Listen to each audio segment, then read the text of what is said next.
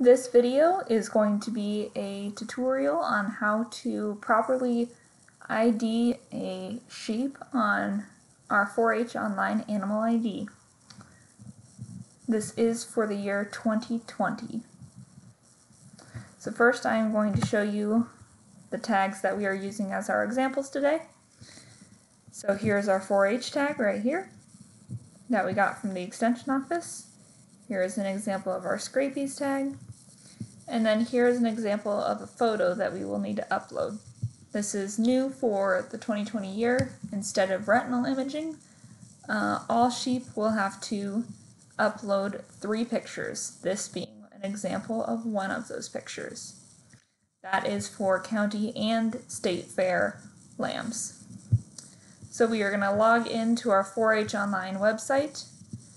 Go to your 4honline.com, select Iowa, and this is the page that will come up. Enter your email and your password, and your role will be family. Here's our home page. Yours might look a little bit differently, but we will continue to family. Next page has our family information, including the members in our family. So you will want to go to the youth that you are entering this sheep for. The youth that you are entering must have an enrollment status of active.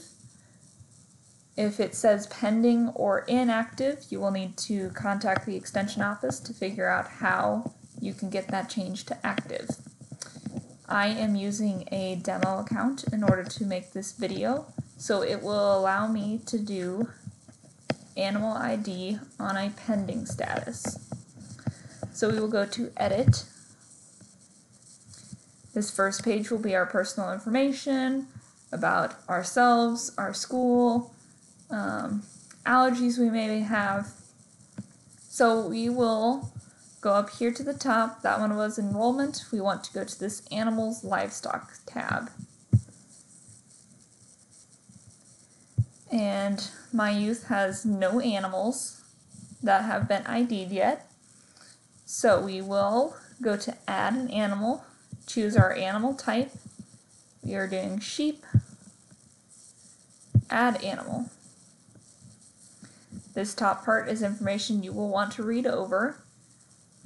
It has a lot of information of what all is needed, especially for 2020, without having the retinal imaging information about the photos that are required for this year.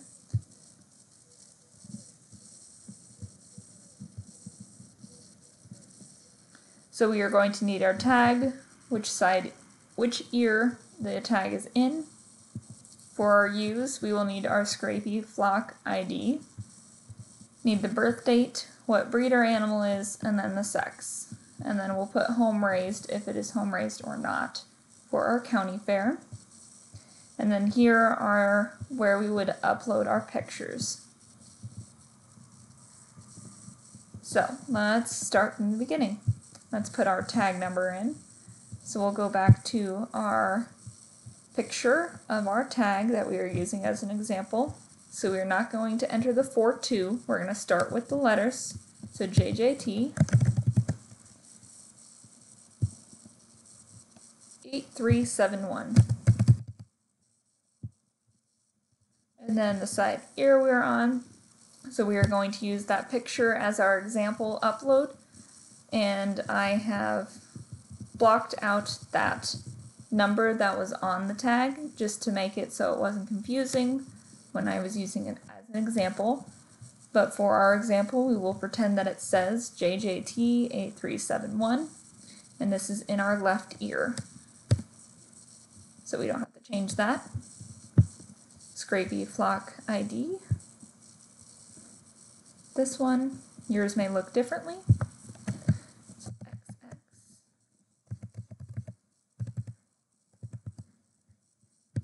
Our birth date get your records to write that one in. Ours is a special baby. You will enter what breed you're doing. Ours is going to be crossbred. And it's going to be female. So we have this top part done. If it's home raised, please enter home raised. Next will be the upload of the pictures. I do not have an example of left side view and right side view, but those will be required for county and state fair, so make sure that you actually enter those in. Ear tag photo, we will do that one. So we went to select, and then you go to wherever you have your picture saved. Here's where my picture is. I press open. It popped up. It shows that it's there. So we're all good. The only thing is that I would have to come back later and enter in my left and my right side view of my lamb. Press save. And you'll definitely have to be careful because it does say active even though I did not complete all of the photos. So make sure you're double and triple checking that you have that complete you can always call the extension office to make sure that you have everything finished. That is a very good option to take advantage of. With that, we are finished with our sheep example for Iowa 4-H Online Animal ID.